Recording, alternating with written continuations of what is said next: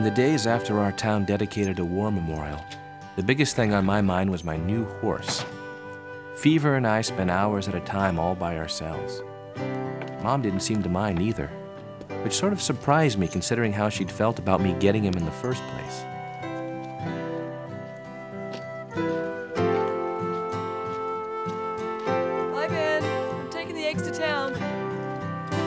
For her, the war memorial dedication had been more than just a final reminder that Dad was never coming back. It had stirred up other emotions and memories long buried or forgotten about. She'd begun to wonder who she was now and where she really belonged. But back then, all I cared about was riding Fever. We would gallop, and the sound his hooves made on the hard ground beneath us was loud enough to drown out everything except my imagination. For a 10 year old boy, it didn't get much better than that.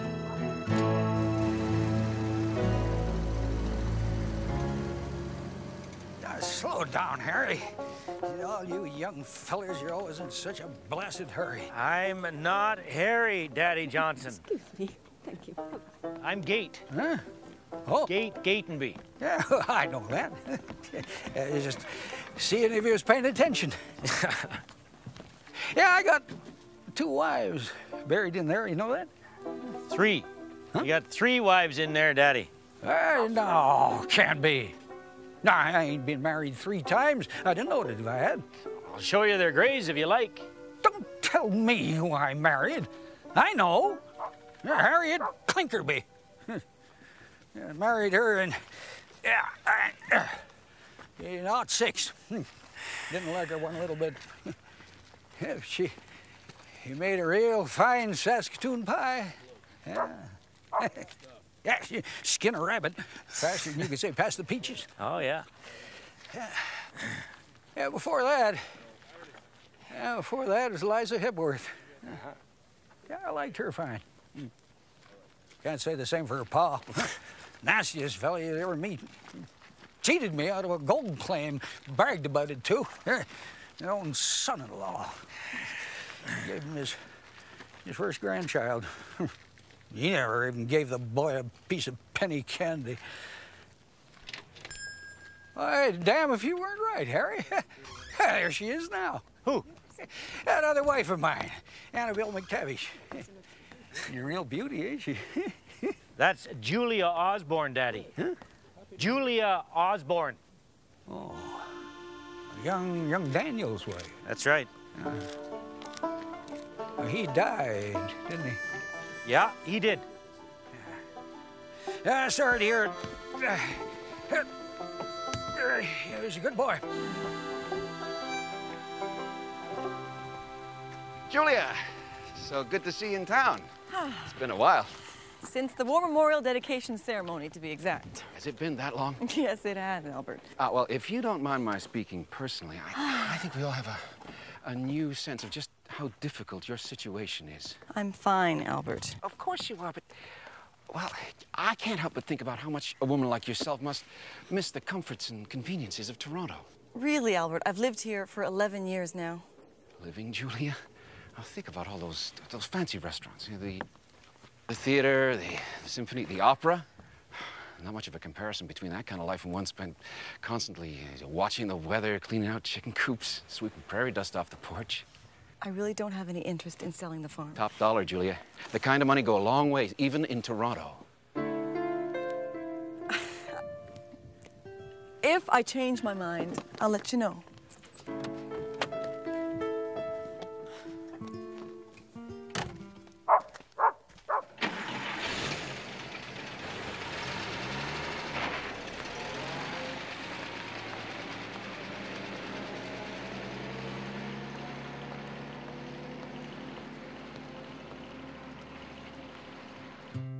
To the end of the field.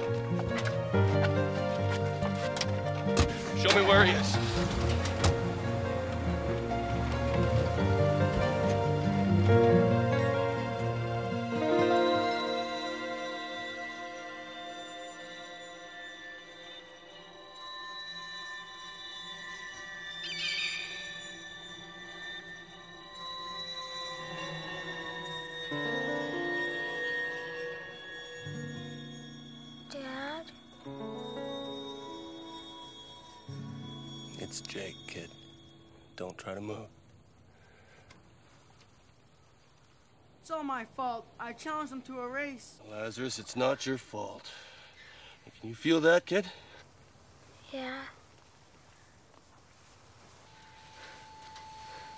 How about that? Uh-huh. Good. That's good. Jake? I saw my dad. Does that mean I'm gonna die? Oh, don't talk nonsense, kid. Lazarus, you think you could lead Fever home for us? Okay, you go on and do that.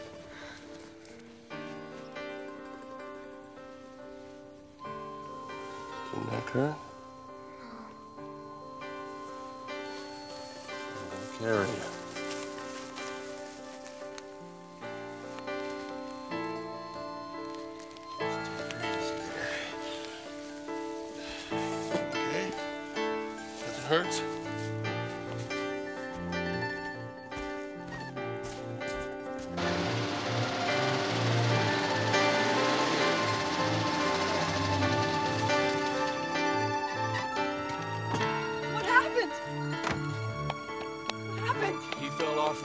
Oh my God. Julia, just go back to the house, call Doc Fotheringham. Ben's gonna be fine. You can get to the phone a lot quicker than I can. Julia, please, go.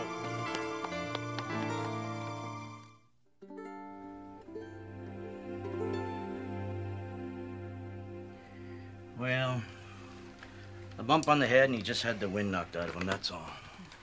Wouldn't hurt him any to get some rest, though. Where's Jake, Ma? He'll be up to visit you as soon as he can, okay? Really. There's nothing wrong with him. I'm gonna see the doc out, Ben. Okay. You get some rest.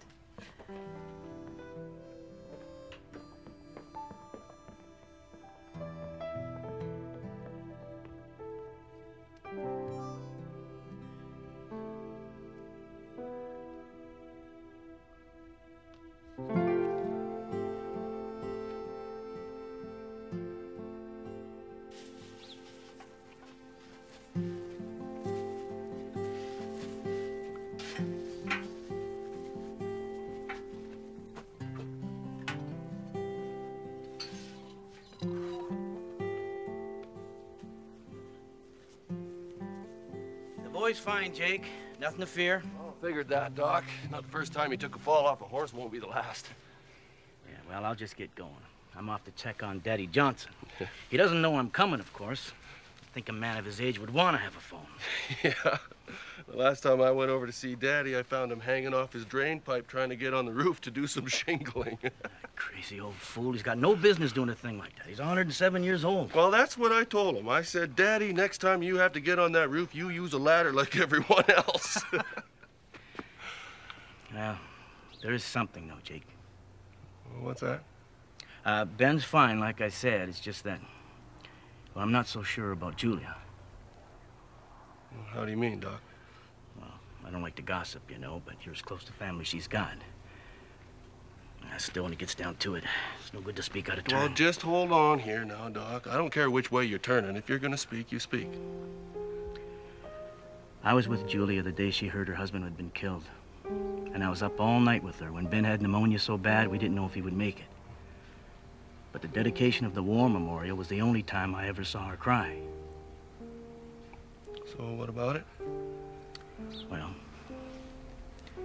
she's in there crying again.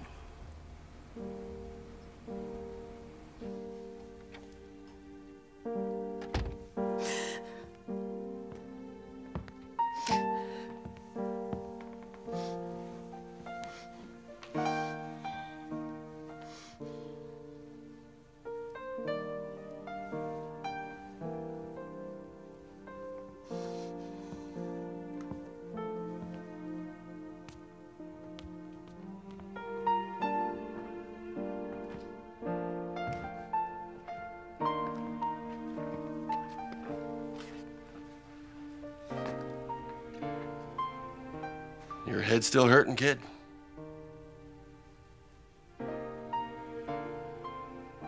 There's something else bothering you then?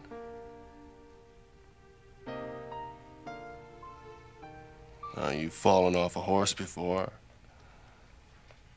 I know. But this time was different. This time, Fever had no reason for tossing me. He just did it 'cause he wanted to. You can't let fear have its own way, kid. You can't let it get bigger than it's meant to be. But it's big, Jake. It's real big.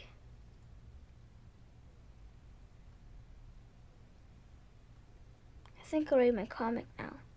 If it's okay with you. Sure. You do that.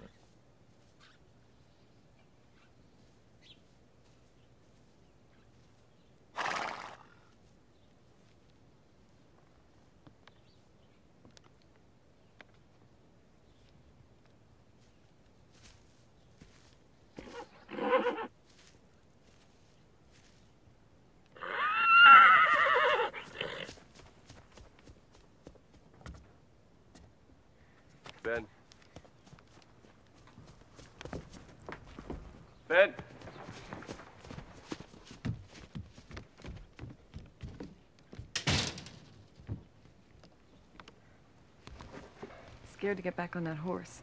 Well, then the sooner he does it, the better. It's not that easy. Well, sure it is. Unless you want him to be scared. Of course I don't. I want him to be brave, but I want him to be safe. I want everything for him. Well, I think he's already got everything, Julia. There's a whole other world out there, Jake. With a lot more to offer than Crocus. I guess we got a difference of opinion, you and me. What do you mean? This place, prairie. I couldn't imagine him anywhere else but here. Difference is, you can.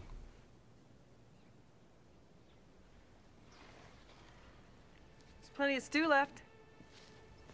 On the stove. think I'll eat in town. Thanks.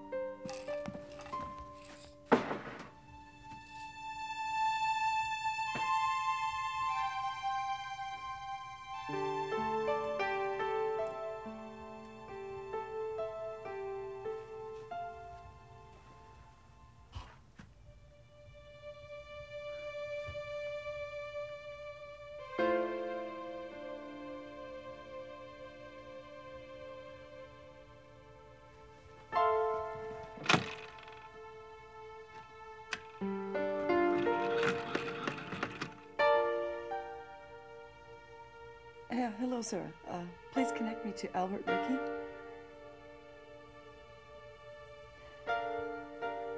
Albert, uh, it's Julia Osborne. Yes, uh, yes, I am. Um, I think we should have a talk.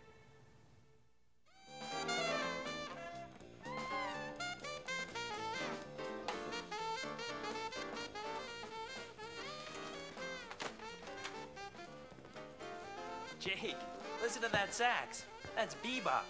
That is the sound of New York City. It's that Barker fella you made me listen to last week? Parker, Jake. Charlie Parker. He's revolutionizing jazz. Well, alls I know is I won't be walking out here humming. The steak special, Henry. You don't like this stuff, do you? No. Hey, how's the kid? No, he's fine. I haven't seen much of you lately.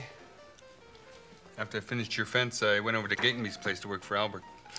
he thinks he's gonna get 50 bushels an acre out of that place. Gate never got anywhere near that. Albert doesn't know what he's talking about. Andy doesn't want us calling it the Gatenby place anymore.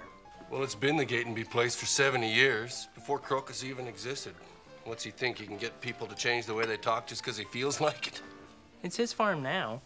Oh, I'm tired of Albert thinking everything's for sale. Almost everything is. Afternoon, Albert. Moses, Jake, this is Jin. Jin Tuvey. A new hired hand. Best damn horse trainer in all of Saskatchewan. Can I get any real food in here? Start with one of those. And a lot less of that Chinese music. That's not Chinese. That's Charlie Parker you're listening to, mister. That's the best damn bugle player in all of New Orleans. I don't care where it's from. I know it ain't real music. Well, then you don't know much, do you? Now, Jake. I know horses. That's so. Tuvey here's got that pinto of mine running a quarter mile in 28 seconds. Jake's got the kids' Palomino doing the quarter in 27. 26?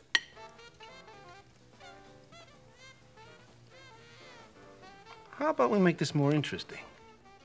I got $25 says my pinto can nail a Palomino's hide to a fence post. I got 50.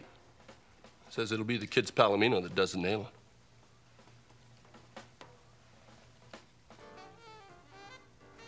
Wednesday, 4 o'clock?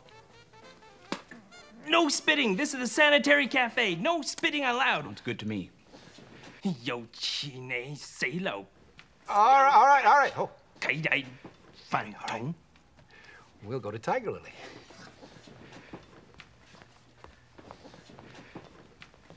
You sure you got $50, Jake? The way Julia's been running the farm since Daniel died, I bet she's not paying you all that much. Of course, once I buy the farm from her, things will be different. I might even give you a raise. See you at the race.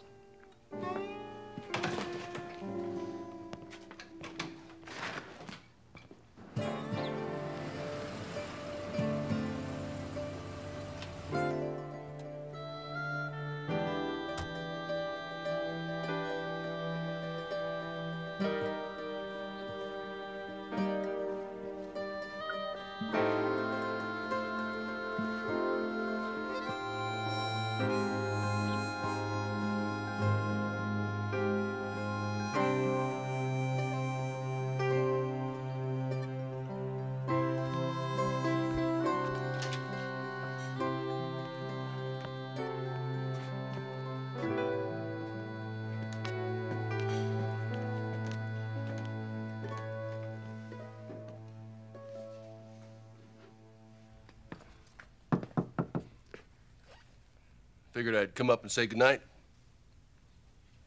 Don't think I'll be sleeping much tonight.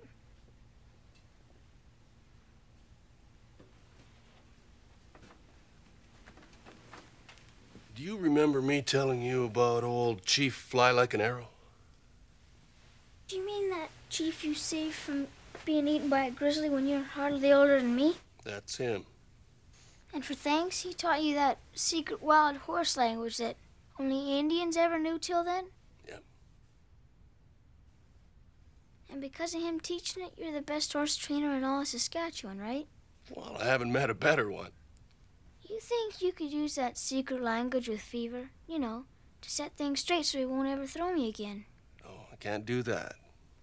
See, horse has to be free to show how he's feeling, just like you and me.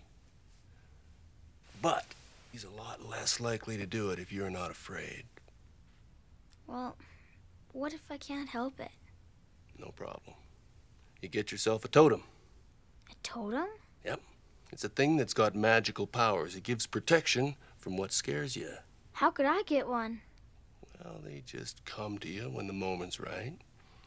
Old Chief Fly Like an Arrow, he took a claw off of that grizzly that tried to eat him. After I killed it, of course. He wore that claw around his neck from that day on.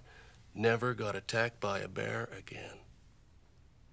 Could be I'd have some use for a totem like that. Could be. Get some sleep.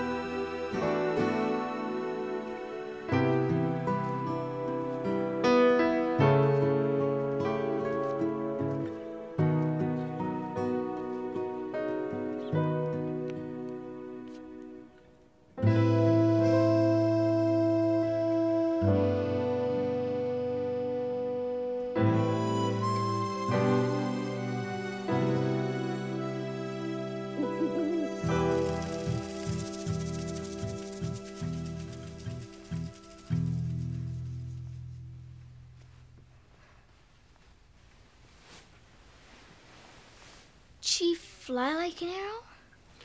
That's me. Are you real? Well, it depends on what you call real.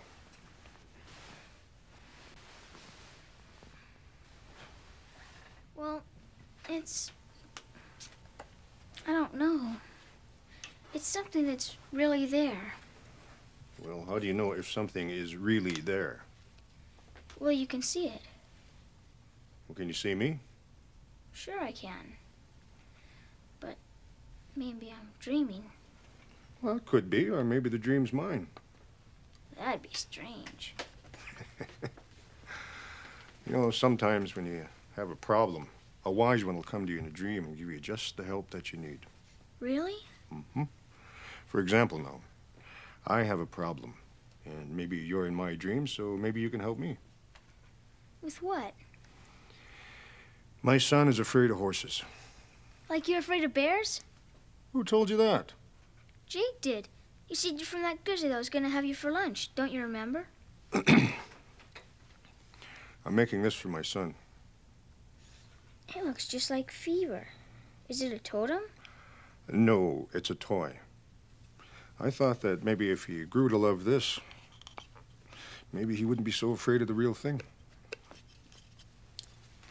Might work. Yeah, I hope so. You know, he's so afraid of riding that nothing can get him back up on a horse. Nothing anyone can say or do. That's too bad. Hmm. Do you ride?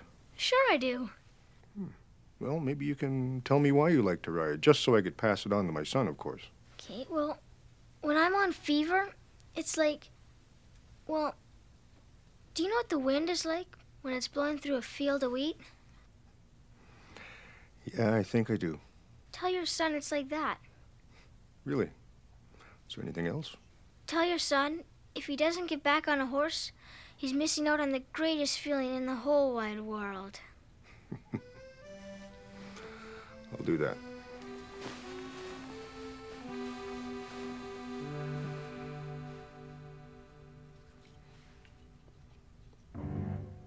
Saved me from a bear. I'm gonna have a word with that Jake.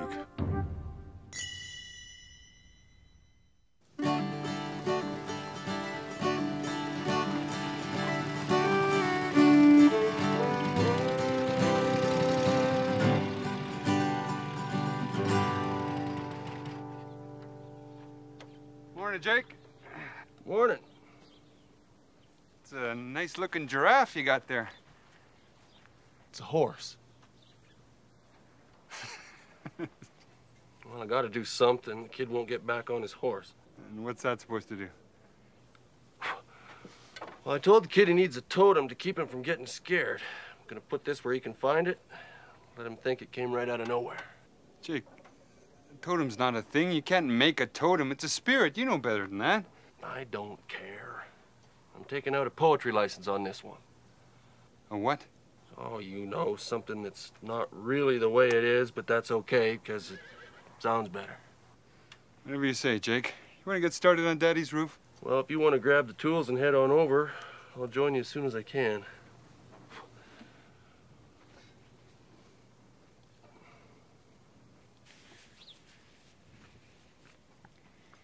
Hey, that's a swell camel. Did you carve that? Well, I... it's a horse. You're riding Fever to school, are you? Yeah, why wouldn't I?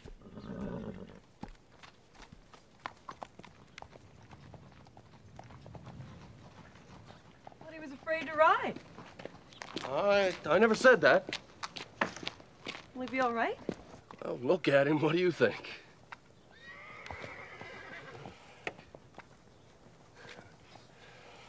Uh, I was going over to Daddy Johnson's, uh, help Moses get started on his roof there. I was wondering if you had anything you wanted to tell me before I go. No, everything's fine. Hey, is that a llama?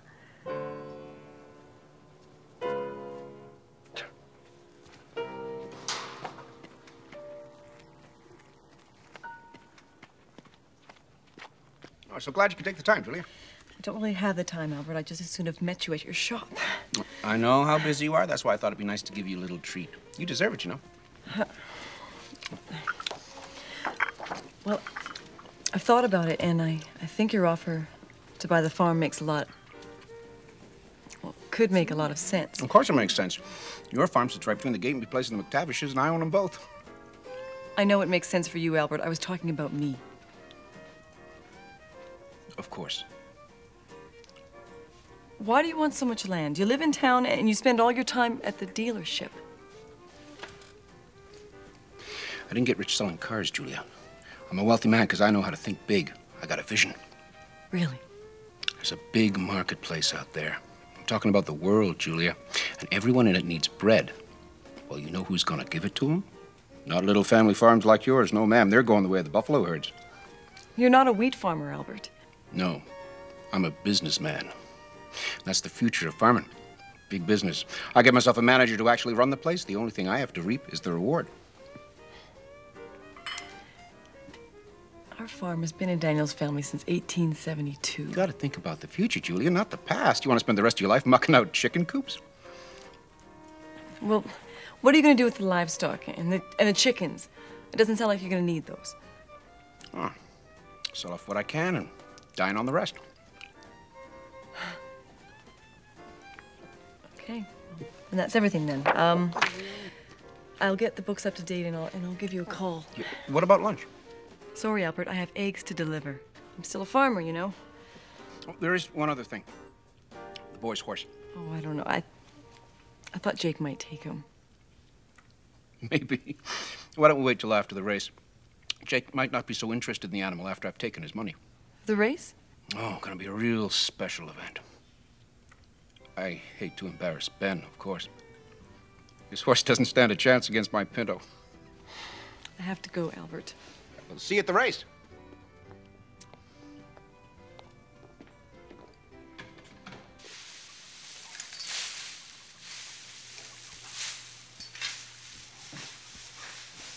Fever was slick as the wind today, Jake. Was he now? Yeah. We raced the Abercrombie boys after school, and I beat them both. Well, I'm glad to hear that, Ben. And I'll tell you why.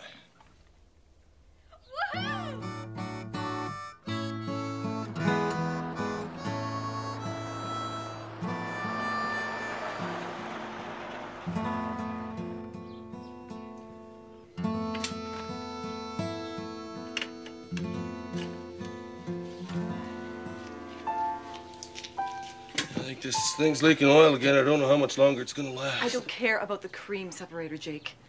I want to hear about your bet with Albert. What about it? Why in the world would you agree to a race? What do you think that says to Ben? Says that sometimes when you get pushed, you gotta push back. I know all about your problem with Albert. Not with him. It's what he's doing. He's taking advantage of people when they're having hard times, when they're weak. You're wrong about Gate. He wanted to sell, and Albert gave him an excellent price. I'm not talking about Gate. Jake, I'm sorry. I didn't want to say anything until I was sure. You don't need to give me an explanation. Yes, I do. I should have told you that Albert offered to buy the farm. This is your home. Forget it.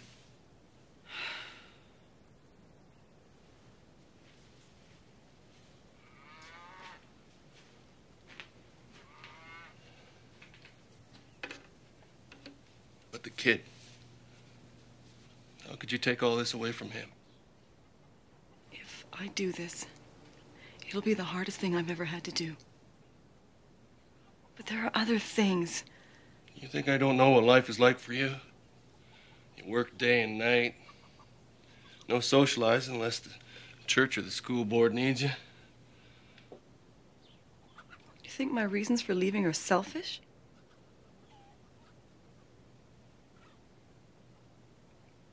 I don't need to do this. Julia, it's your farm. It's your life. And my son.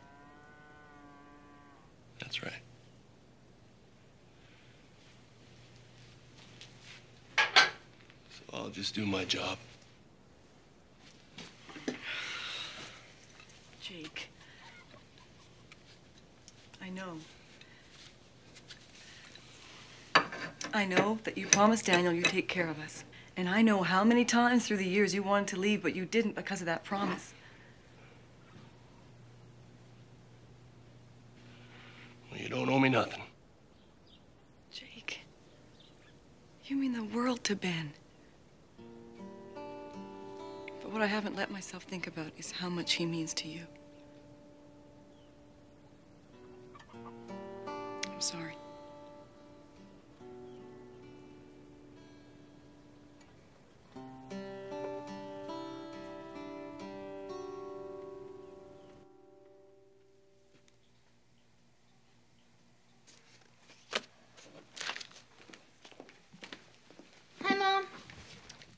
Son. I'm glad you're home early. There's something I want to talk to you about.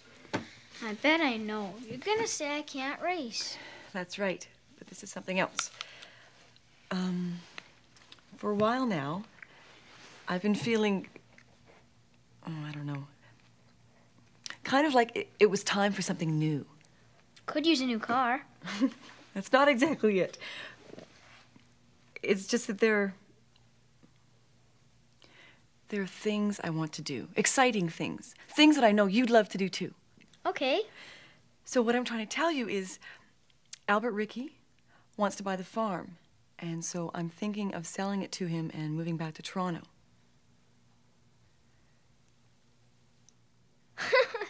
You can't do that, Ma. This is Dad's farm. No, son, it's mine. But I don't want to move. Oh, I know it's scary at first. Moving could be a wonderful adventure. There's new places and there's new people. Nothing's more exciting than that. You've got cousins out in Toronto you've never even met yet. Your grandparents, Ben. You haven't seen them since your seventh birthday. Honey, we've got family out in Toronto. Here we have no one. That's not true, Mom. We've got Jake. It's not the same, Ben. This is my dad's farm. You think you don't remember him, but I do. Ben, you were too young. No, he used to carry me up on his shoulders, and once he did a, a magic trick and made a penny come right out of my ear. Ben, let me try and explain to you. No! Ben!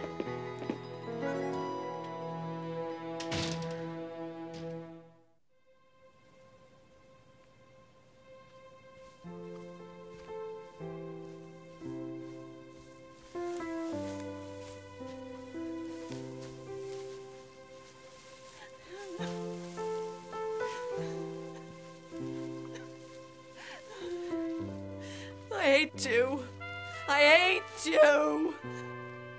I hate this endless sky and this miserable flatland. I hate wheat. No, that's not true. You said you loved it here when I first brought you out. I said what you wanted me to say. I loved you. We stood right here, remember? You said you loved the smell of wolf willow. And that the meadowlark's song made your heart feel like it was gonna burst. And the wheat. You said the wheat was waving hello. That it was the most welcoming sight you'd ever seen.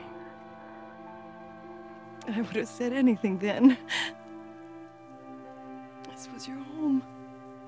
No, Julia. It's ours. It still is.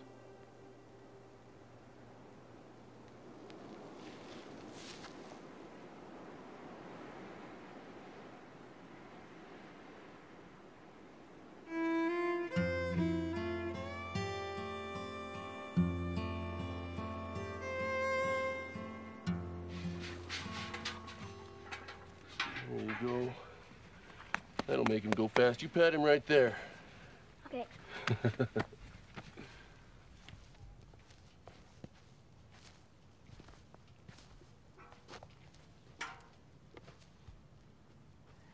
How is he? He'll be all right. About selling or not, you do what you have to do, but the race means an awful lot to the boy. I'm not saying it for me. Albert can call me a welcher if he wants to. It's not the worst thing I've ever been called, and won't be the worst thing Albert's ever done. Why is it that even when you're absolutely right, I feel like you're putting something over on me?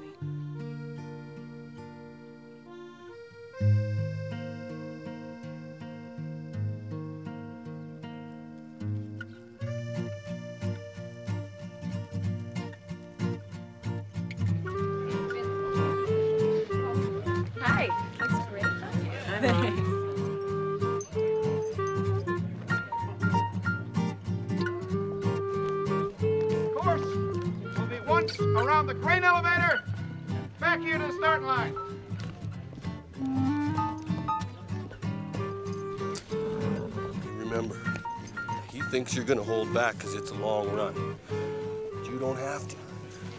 You let Fever have his head, because he's got lots of staying power. I know it, Jake. Ready? Yeah. Good. Hey, what do you think you're doing? Heard you might be selling this horse. Or I might buy it if it ran a decent race. Well, I'd rather see him filling a bottle of glue.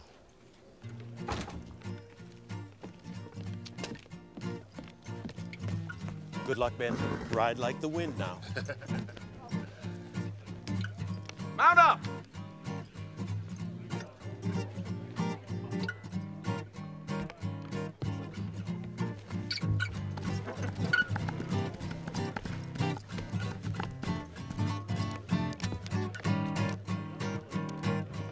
I hope you're not worried about the kid racing, Julia. Why should I be? He is the best rider in town. Of course, whatever you say.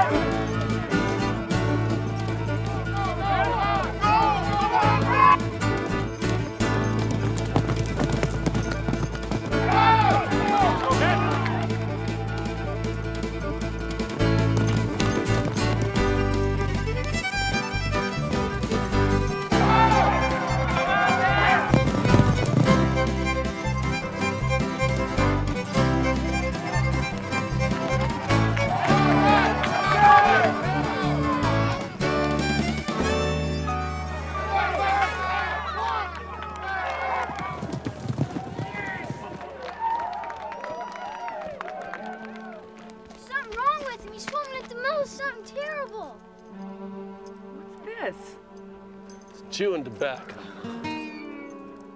Look at this. Tobacco makes a horse slobber. When he swallows, it cuts off his wind, and you can't run without air in your lungs. Oh, how did it get there? There's your answer. Come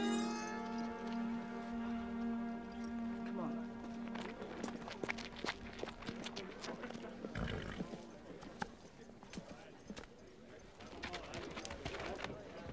Albert, can't believe even you would do something like this.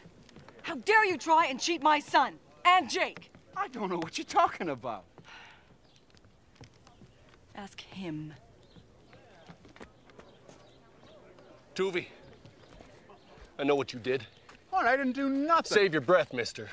Now, I'm gonna give you five minutes to rest that horse of yours, then we're racing again. I say that's up to Mr. Rickey. I say that's up to me. And when it's over, you're gonna leave Crocus, forget the road you took to get here. You understand me?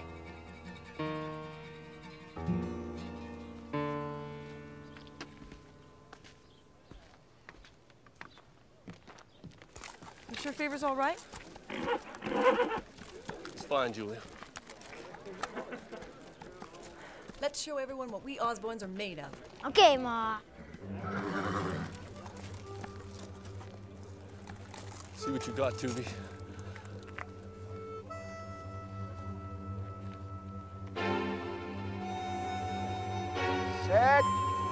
All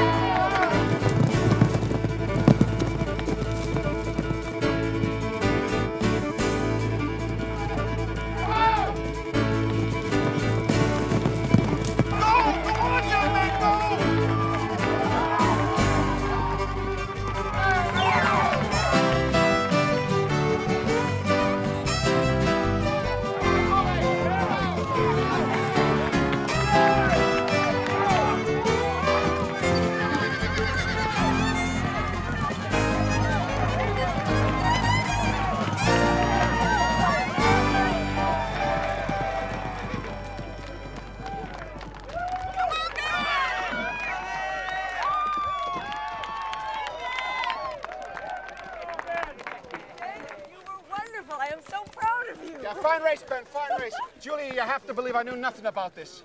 I do. Let's put this unfortunate incident behind us, eh? Can't let it interfere with business. We don't have any business to discuss, Albert. We don't? Like I said, our farm's been in Daniel's family since 1872. It's gonna stay that way. Great race, Ben. And you were great.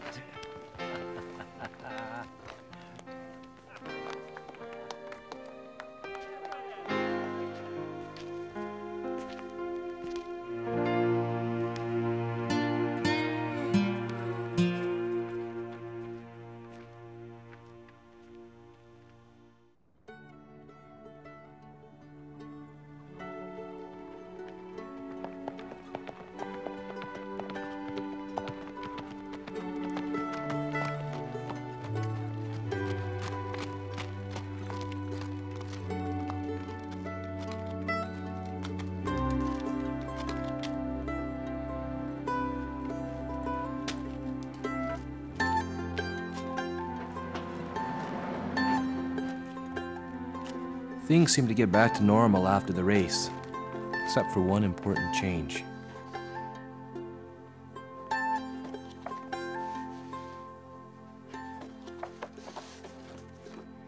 Mom started playing the piano again, something she really hadn't done since Dad died.